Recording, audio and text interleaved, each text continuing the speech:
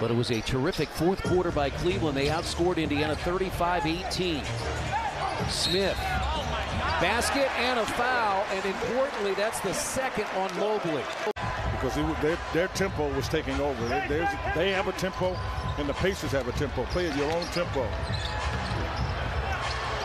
And McConnell got it. Nearly doubled his four and a half point average. Mathurin for three. Penetration and that kick out is really.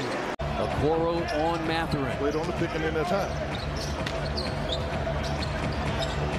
And McConnell Oh, shoots and hits a three. He really go and catch, not catch and go. He was already going. Uh, another deflection there.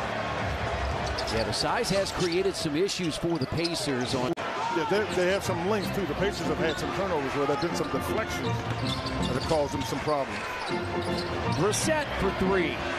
Love the pass. Love the pass.